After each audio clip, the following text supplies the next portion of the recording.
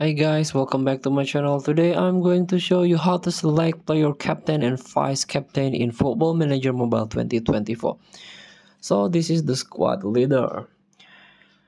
And before we start, I made this video is for beginner new into this game, still confused how you can create your own tactic like this, how you can build up the formation from shape, defense, attack and set pieces here. And also you can get this game for free if you make a subscription into the Netflix app. Let's get started. Tap the club's logo. Currently, I'm managing Paris Saint-Germain as my team. Tap first team.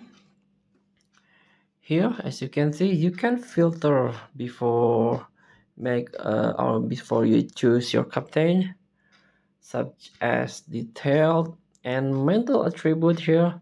Tap confirm, and as you can see, there are some variable here. Tap the leader. Here, the highest uh, point, the highest attribute is 15 by Marquinhos. And also, Marquinhos is very suitable as your captain here. Let's get back. Tap the club logo, tap tactics, and the last one option, the last option here, captain. Tap the information first. The captain selection screen allow you to select your captain and vice captain. Although leadership in is an important trait for captain and also worth considering where each player feature here.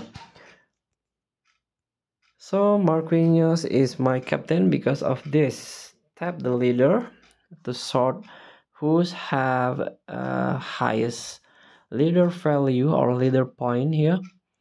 There are Marquinhos and I choose a Danilo Pereira here. Tap Danilo Pereira here tap. Okay so Danilo Pereira become my vice captain. You can see you can add three more player here. Donnarumma, Kimpembe, and Kylian Mbappe. So it's done. Marquinhos will be my captain. Thank you for watching. Don't forget to comment like and subscribe. Also click that button below. Enjoy the game